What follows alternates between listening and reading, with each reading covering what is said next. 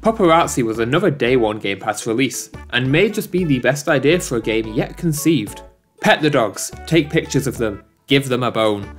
It's cutesy fun at its core, but we aren't so easily swayed by some puppy dog eyes.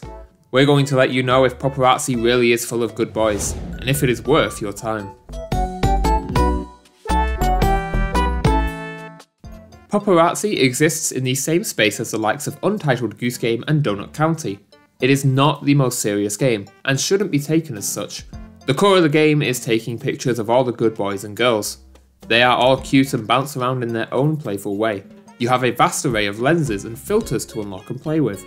Even one that reveals that you're actually an existentially terrifying camera person. Unfortunately, however, that's the crux of the gameplay. Once the novelty has worn off, there's not really anything else worth playing for. Sure, the dogs are cute and they wear funny hats, but if you're a soulless game reviewer like myself, you're bored 20 minutes in. There are missions to complete. These are mostly just finding things in the environment or taking specific photos. These missions serve to get you exploring each level and taking unique pictures. The result is decent, and I will admit, the areas are nice and varied. You will be able to take pictures of puppies in the park, at the beach, or in the city. The issue I have here is that it's all just buried in the menu. The whole game is.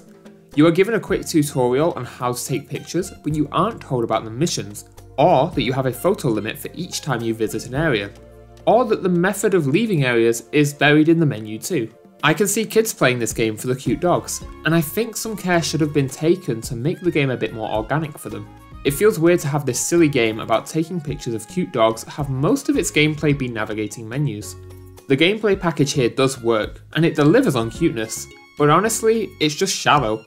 There is some novelty here, but no amount of cute poppers and doggos can save Pupperazzi from getting a 2 out of 5 for gameplay. There is a solid commitment to silly art direction here. Environments are nicely designed and look solid with their simple style. I love the way that the dogs bounce around and the silly way they ride bikes. It all served to get a laugh out of me. There are loads of breeds of dog, all lovingly modelled, and there is also some terrifying humanoids. Everything bounces around, and it is impossible to be sad whilst looking at this game. The music, whilst a bit repetitive, also fits the theme and keeps the atmosphere light. Just be aware, if this isn't your type of music, then it will get very annoying, very quickly, and you should turn it off in the settings. Overall, the art direction here is solid. The style looks good, suits the themes of the game, and is committed throughout. We're opting to give Pupperazzi a 5 out of 5 for art direction. Narrative is here to serve the gameplay systems and doesn't go above and beyond that.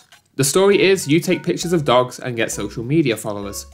Each quest has a little bit of context to get you going, but that's about it. As with gameplay, what's here is serviceable, but it isn't really all that much else. This is a game where gameplay absolutely takes precedence over narrative, and the narrative serves its role perfectly despite barely being present. Pupperazzi scores a 3 out of 5 for its perfectly average narrative offering. Pupperazzi is a full package. It is missing that final polish pass, but everything that should be here is. We encountered one bug whilst playing, the menu decided to die on us for a moment, but that was about it. Settings here are really odd. There are some solid quality of life features here, but everything is lacking in detail. There are very select language options. Apologies if you're Spanish, Dutch or Italian. No puppy picture taking for you. There are separate options for both simplified and traditional Chinese though. There is a field of view slider, but there is no reference as to the extent of said slider. There is a really cool quality of life option in the moving cars toggle. If you aren't a fan of dogs playing near moving cars, you can just disable them. You can also choose photo size. There is a sensitivity slider, and you can invert both the X and Y axis. You can toggle hold to run and activate simple controls. That last one is a nice quality of life for those unfamiliar with video games. There are no further options to remap controls. Finally, there are sliders for music, SFX and dog volume. You're getting a full package here with some solid quality of life tweaks, but just like the rest of the game, I think a final pass would have pushed this whole package further. Pupperazzi scores a respectable 4 out of 5 on our spec scale. Commitment here is solid. Pupperazzi is going to take you a few hours to beat. But you're more than welcome to spend as much time taking pictures of pups as you please. The game doesn't explain everything in the best way, but it doesn't seek to actively disrespect your time. Hard drive footprint is also great, clocking in at 825 megabytes.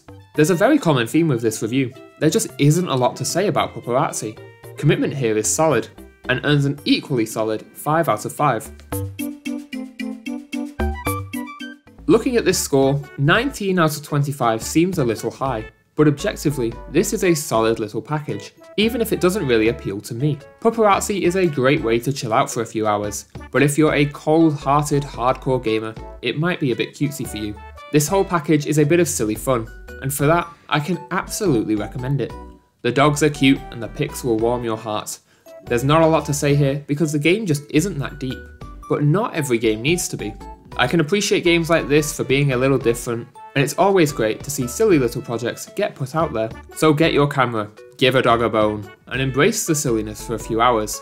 We all need to from time to time.